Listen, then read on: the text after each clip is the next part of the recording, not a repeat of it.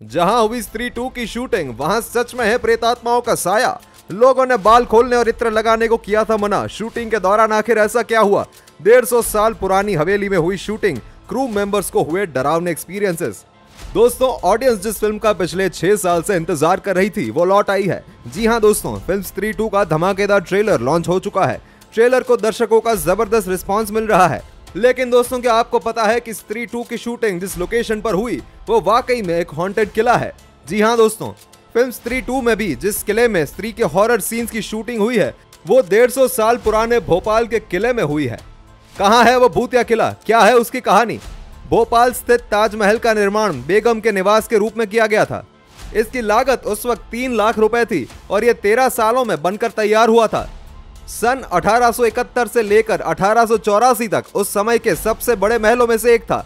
इस महल का शुरुआती नाम राजमहल था, लेकिन भोपाल के एक बरतानिया अध्यक्ष ने इसकी वास्तुकला से प्रभावित होकर इसका नाम ताजमहल रखने का सुझाव दिया था। भोपाल की बेगम ने इनके प्रस्ताव को स्वीकार करते हुए ताजमहल नाम रख दिया। बेगम ने इस महल का निर्माण पूरे होने पर तीन साल तक चलने वाले जश्न को जश्न ताजमहल नाम दिया था। पर्यटक अभी भी यहाँ घूमने आते हैं, लेकिन महल के आसपास रहने वाले स्थानीय लोग एक अलग कहानी बताते हैं। आसपास के लोगों का कहना है कि सफ़ेद रंग की एक महिला इस महल में रहती है, जो अक्सर महल के अंदर एक खिड़की से दूसरी खिड़की तक भटकती नज़र आती है।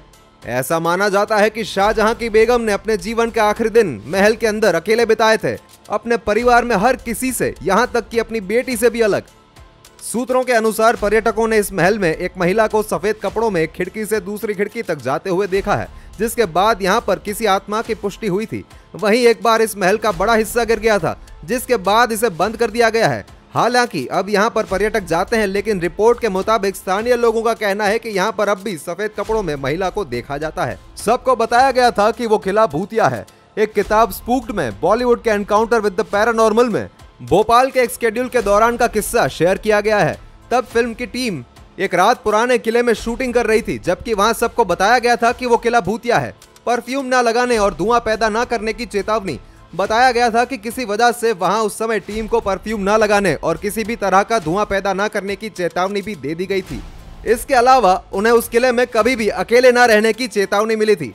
बाकी लोगों से थोड़ा दूर बैठा था टेक्नीशियन बताया गया कि उस समय वहाँ जो लाइटिंग टीम काम कर रही थी, उसका एक टेक्नीशियन बाकी लोगों से थोड़ा दूर बैठा था।